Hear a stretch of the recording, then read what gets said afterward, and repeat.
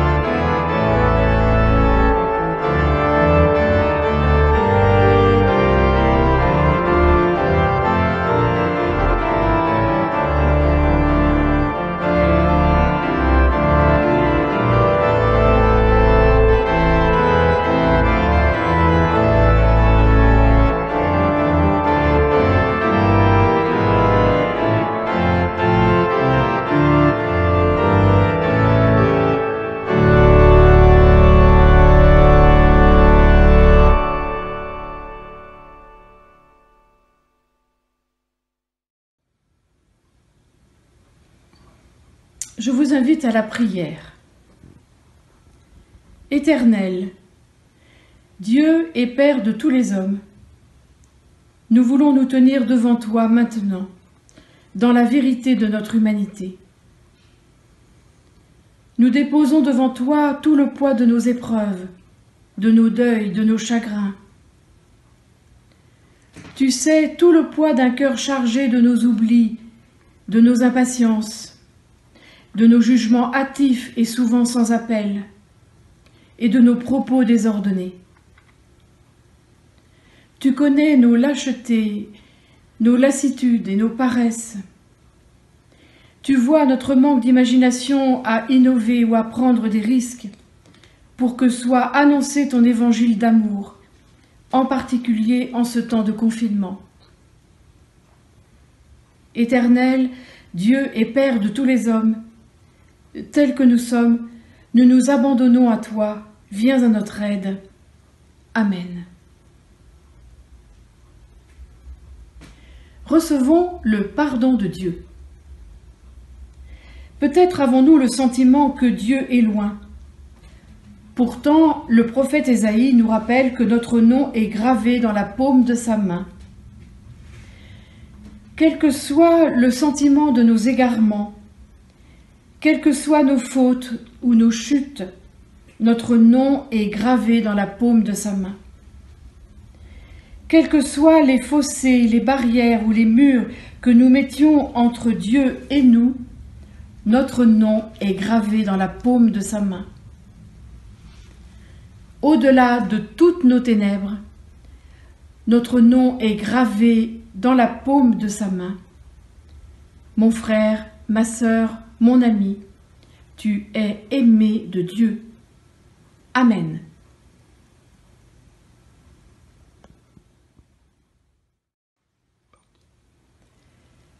Relevés par le pardon et la grâce de Dieu, nous confessons notre foi. Seigneur, tu m'as toujours donné le pain du lendemain, et bien que pauvre, aujourd'hui je crois. Seigneur, tu m'as toujours donné la force du lendemain, et bien que faible, aujourd'hui je crois. Seigneur, tu m'as toujours donné la paix du lendemain, et bien qu'angoissé, aujourd'hui je crois. Seigneur, tu m'as toujours gardé dans l'épreuve, et bien que dans l'épreuve, aujourd'hui je crois. Seigneur, tu m'as toujours tracé la route du lendemain, et bien qu'elle soit cachée, aujourd'hui je crois. Seigneur, tu m'as toujours éclairé dans mes ténèbres, et bien que sans lumière, aujourd'hui je crois. Seigneur, tu m'as toujours parlé quand l'heure était propice, et malgré ton silence, aujourd'hui je crois. Amen. Gloire à Dieu dans les cieux et sur la terre, et d'éternité en éternité.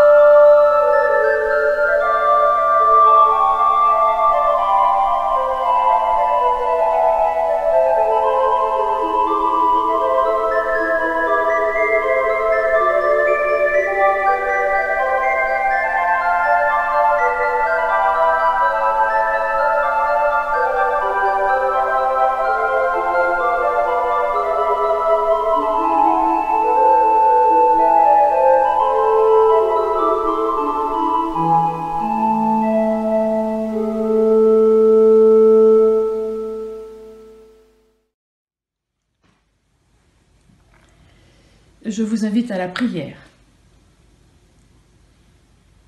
Toi, Père du ressuscité, dans la communion de l'Esprit, accorde-nous la grâce de nous laisser atteindre par le message de Pâques.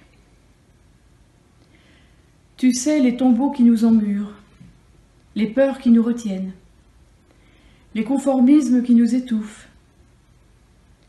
Viens toi-même nous lancer des mots qui se ficheront dans nos cœurs de pierre pour les changer en cœurs de chair. Tu sais les images dans lesquelles nous t'enfermons, faisant de toi un Dieu lointain et indifférent, ou encore un divin despote prêt à nous broyer. Viens toi-même te faire reconnaître comme l'inconnu qui nous rencontre et nous remplit d'étonnement. Ouvre en nous des brèches dans nos certitudes les plus définitives. Rappelle-nous que ta gloire réside dans nos renaissances, notre envie de vivre. Insuffle en nous ta force de relèvement. Alors, nous serons un peuple, ton peuple, rayonnant de ta bénédiction, porté par ta vie. Amen. Je vous invite à lire maintenant un passage de l'évangile de Marc qui sera en fait euh, les derniers versets de l'évangile de Marc, chapitre 16, les versets 9 à 20. Ressuscité le dimanche matin, Jésus apparut d'abord à Marie de Magdala, dont il avait chassé sept démons. Elle partit l'annoncer à ceux qui avaient été avec lui et qui étaient tristes et pleuraient.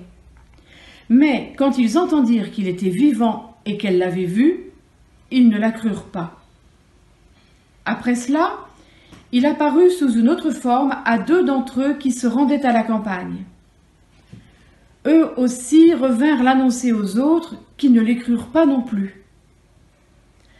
Enfin, il apparut aux onze pendant qu'ils étaient à table, et il leur reprocha leur incrédulité et la dureté de leur cœur, parce qu'ils n'avaient pas cru ceux qui l'avaient vu ressusciter. Puis il leur dit, Allez dans le monde entier proclamer la bonne nouvelle à toute la création. Celui qui croira et qui sera baptisé sera sauvé, mais celui qui ne croira pas sera condamné. Voici les signes qui accompagneront ceux qui auront cru. En mon nom, ils pourront chasser les démons, parler de nouvelles langues, attraper des serpents, et s'ils boivent un breuvage mortel, celui-ci ne leur sera fait aucun mal. Ils poseront les mains sur les malades, et ceux-ci seront guéris. Après leur avoir parlé, le Seigneur fut enlevé au ciel, et il s'assit à la droite de Dieu. Quant à eux, ils s'en allèrent prêcher partout. Le Seigneur travaillait avec eux et confirmait la parole par les signes qui l'accompagnaient.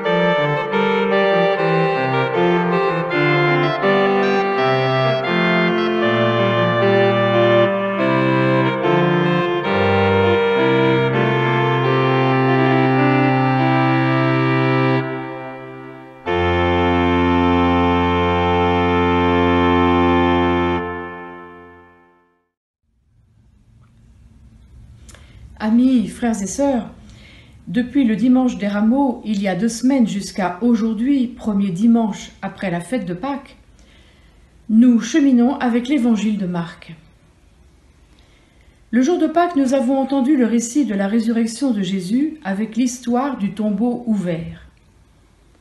Au petit matin du premier jour de la semaine, lorsque le sabbat est passé, trois femmes prennent le chemin du cimetière portant des aromates afin d'embaumer le corps de Jésus. En arrivant, elles découvrent que la pierre a déjà été roulée. Ce n'est que le début de leur frayeur. À l'intérieur du tombeau, un jeune homme en blanc leur dit que Jésus de Nazareth, celui qui a été crucifié, a été ressuscité et qu'il n'est pas ici. Les femmes reçoivent alors une mission, celle d'aller dire aux disciples et à Pierre qu'il les précède en Galilée et que c'est là qu'ils le verront. Les femmes sont tellement bouleversées et toutes tremblantes de peur qu'elles s'enfuient et qu'elles en oublient leur mission. Elles ne disent rien à personne, pas même aux disciples. Initialement, l'évangile de Marc s'arrête à cet endroit sur la peur, le mutisme et la fuite des femmes. Si elles n'ont rien dit à personne, alors comment cette bonne nouvelle nous est-elle parvenue? C'est une bien étrange conclusion qui laisse chacun dans une profonde frustration. Cette finale a laissé les premiers chrétiens dans la perplexité. Comment continuer l'histoire? Comment devenir les témoins de quelqu'un qui a disparu non seulement parce qu'il est mort et enterré, mais surtout parce que son corps n'est plus dans la tombe? Le caractère surprenant de la fin de l'évangile de Marc a suscité diverses tentatives pour compléter le récit, en particulier dès le deuxième siècle de notre ère. Il existe une finale dite courte, constituée de deux phrases sans aucune logique avec ce qui précède. Tout ce qui leur avait été prescrit, elles l'annonçèrent rapidement à l'entourage de Pierre. Après cela, Jésus lui-même envoya, par leur intermédiaire, de l'Orient jusqu'en Occident, la prédication sainte et incorruptible du salut éternel. Amen. Nous pouvons remarquer ici un changement radical de position. Les femmes de l'entourage de Jésus sont présentées comme ayant rendu possible l'intervention directe du ressuscité pour diffuser la grande nouvelle. Cette finale n'est pas plus satisfaisante que la première, et c'est sans doute pourquoi nous trouvons dans nos Bibles une autre finale, plus longue, celle que nous avons entendue au début de cette prédication. Elle prendra place dans cet évangile seulement autour du cinquième siècle de notre ère. Pourquoi si tard? Certainement pour que les autres évangiles aient le temps d'être écrits. On peut le supposer. En effet, cette finale consiste en une compilation de récits d'apparition du ressuscité, puisés dans les évangiles de Matthieu, Luc et Jean. Ces apparitions se présentent comme une chronologie bien organisée. Jésus apparaît d'abord à Marie de Magdala, dont le récit se trouve dans l'évangile de Jean, le plus tardif des quatre évangiles. Puis il apparaît ensuite à deux disciples qui, je cite, se rendent à la campagne, ce qui renvoie au récit des disciples d'Emmaüs dans l'évangile de Luc. Il, apparaît enfin aux onze disciples qui sont à table, toujours dans l'évangile de Luc. Les disciples reçoivent à leur tour la mission d'évangéliser le monde entier, qui rappelle la finale de l'évangile de Matthieu. Jésus leur donne le pouvoir de guérir, comme précédemment dans l'évangile de Marc, et il les quitte par son ascension, comme on peut le lire aussi dans l'évangile de Luc ou dans les actes des apôtres. Nous sommes là devant un concentré des meilleurs moments de Jésus après sa résurrection.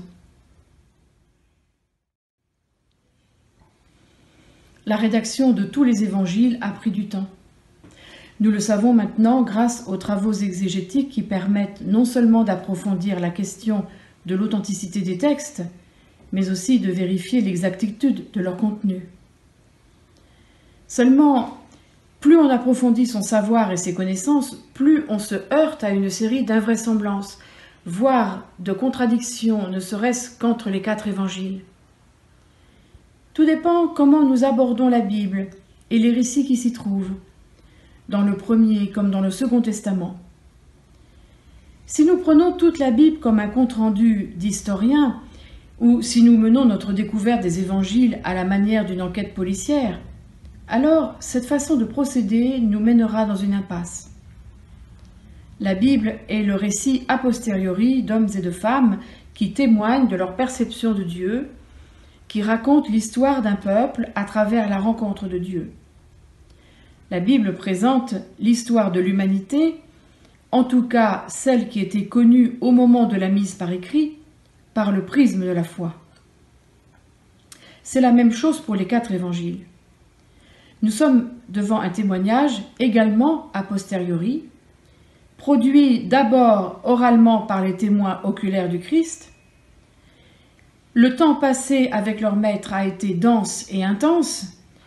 Les hommes comme les femmes qui le suivaient ont été témoins de l'irrémédiable. Sur le mont Golgotha, les femmes ont assisté impuissantes à la mort de Jésus, apostrophant le silence de Dieu sur un pourquoi. Et la mort semblait bien être le point final. Et voilà que le corps introuvable de Jésus projette ces hommes et ces femmes dans une nouveauté de vie qu'ils n'avaient en aucun cas envisagée. Car dans l'évangile de Marc, le silence des femmes rejoint la difficulté des disciples à croire la résurrection. Quand Marie de Magdala revient dire aux disciples qu'il est vivant, personne ne la croit. Quand les deux disciples reviennent d'Emmaüs annoncer à ceux qui étaient restés à Jérusalem que Jésus leur est apparu, personne ne les croit. Alors, qu'est-ce que c'est que, cette nouvelle à laquelle personne n'accorde immédiatement de crédit? Une nouvelle pourtant toute simple, trop simple peut-être. Il a été relevé, nous dit le texte.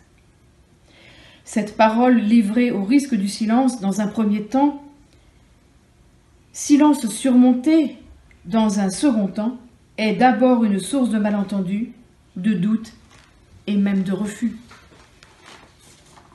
Alors, on peut imaginer le temps dont chacun, chacune aura eu besoin pour faire sien l'enseignement de Jésus, pour se souvenir de ses paroles et de ses gestes.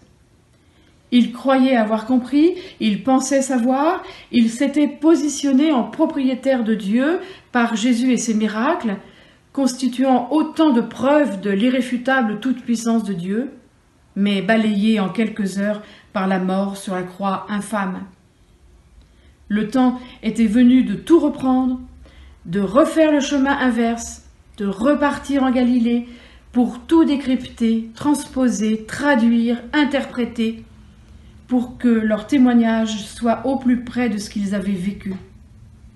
Trouver les mots pour dire l'indicible, à savoir que Dieu continue de se dire à travers une parole humaine qui pourra rejoindre celui ou celle qui l'entendra, même 2020 ans après.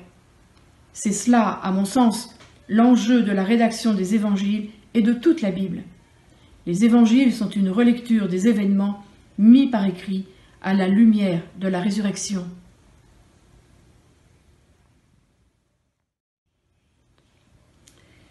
Dans les derniers versets de l'évangile de Marc, on ne nous dit rien de ce que pensent les disciples quand Jésus leur reproche la dureté de leur cœur en ne croyant pas ceux qui l'ont vu ressusciter. Par contre, c'est la personne qui entendra à son tour cette parole qui sera appelée à prendre position. L'auditeur que nous sommes aujourd'hui, par exemple, est appelé à prendre position. Et en fait, tout est possible, l'accueil comme le refus. C'est notre plus belle liberté humaine. Il manque une parole importante dans le récit de Marc. C'est cette question. Comment s'est passée la résurrection? Il n'y a aucune information. Dans les autres évangiles non plus. Pas plus que dans la prédication de l'apôtre Paul qui, rappelons-le, précède la rédaction des évangiles.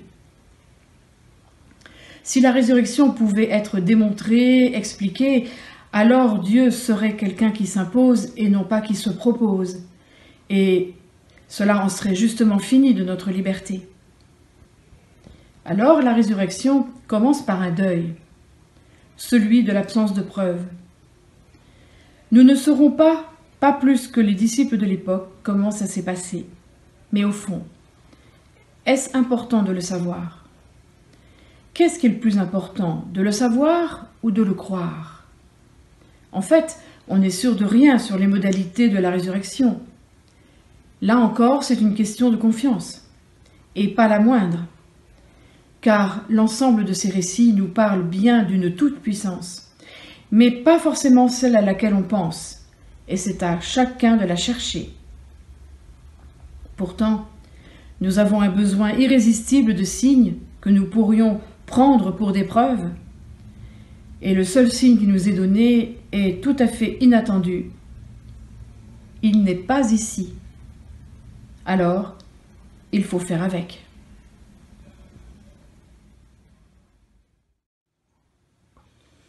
Faire avec. Et si justement il n'y avait rien à faire Juste à être. Mais c'est très difficile. Être, c'est comme un passage à vide.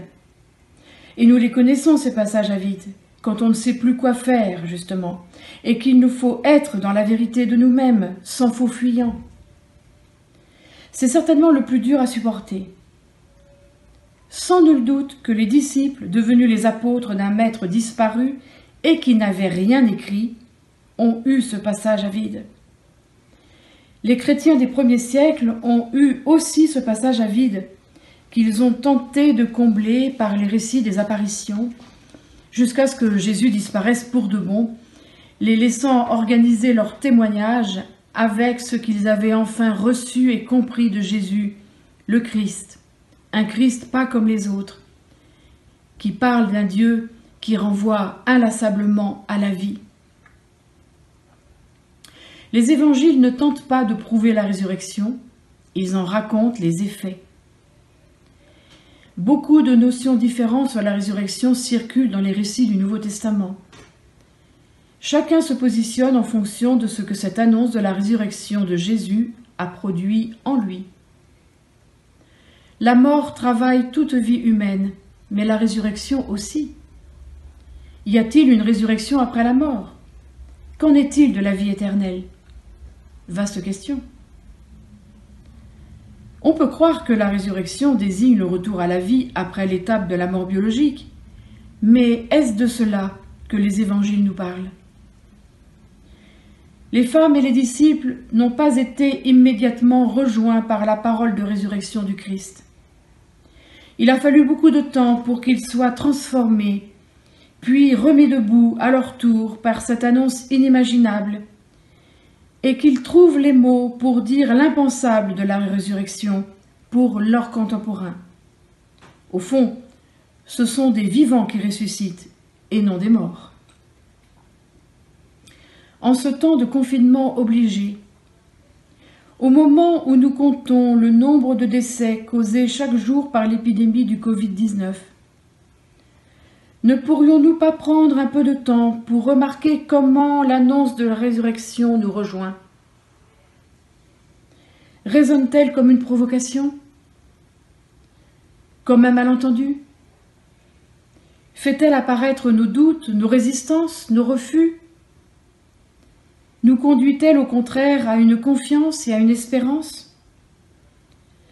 Nous transforme-t-elle? Nous remet-elle debout? C'est à notre tour, en tant que témoin, de donner notre réponse. Personne ne le fera à notre place. Amen.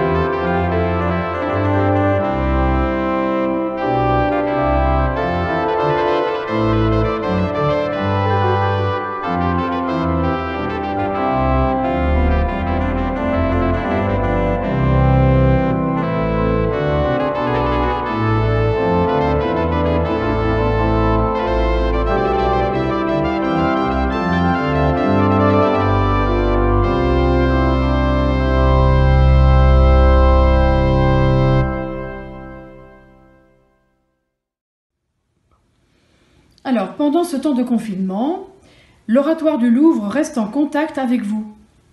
Si vous souhaitez bénéficier des publications qui sont faites actuellement, n'hésitez pas à consulter régulièrement notre site internet oratoire du Louvre en un seul mot.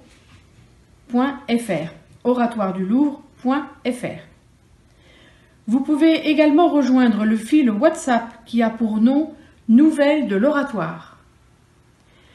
Vous pouvez également envoyer un message sur l'adresse mail suivante accueil@oratoiredulouvre.fr et demander à être abonné à la newsletter hebdomadaire. La prochaine paraîtra le 24 avril. Le temple et la maison presbytérale sont fermés au public jusqu'à nouvel ordre. Mais les charges de ces bâtiments demeurent. Merci de rester solidaire de votre paroisse par vos dons que vous pouvez faire en ligne en toute sécurité sur le site oratoiredulouvre.fr en cliquant sur la rubrique Données ou que vous pouvez adresser par chèque à l'adresse postale 4 rue de l'Oratoire 75 001 Paris. Merci infiniment de votre soutien.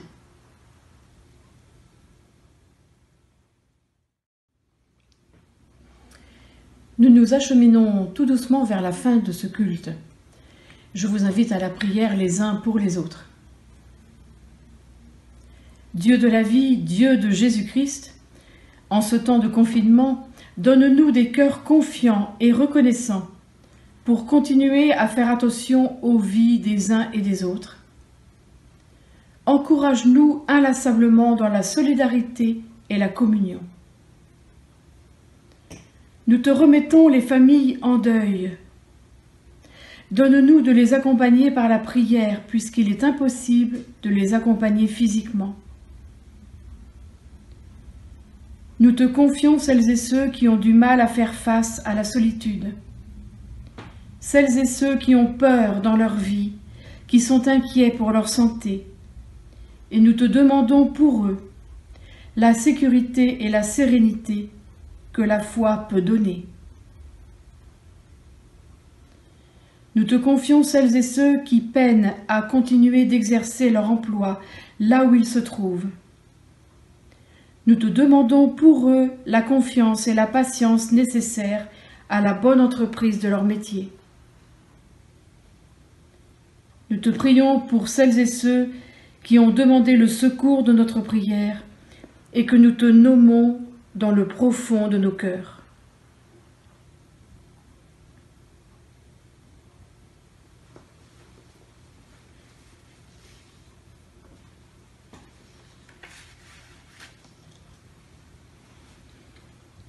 ensemble, reliés les uns aux autres malgré les distances. Nous te disons,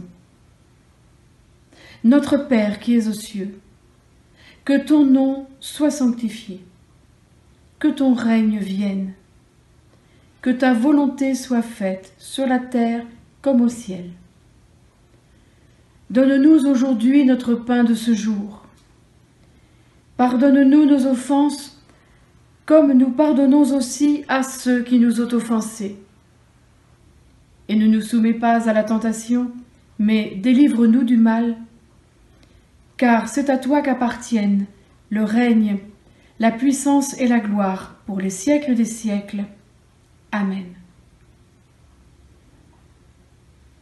Chers amis, chers frères et sœurs, recevez maintenant la bénédiction de la part de Dieu. Que le Seigneur te bénisse et te garde. Que le Seigneur fasse rayonner sur toi sa face et t'accorde sa grâce. Que le Seigneur porte sur toi son regard et te donne la paix. Amen.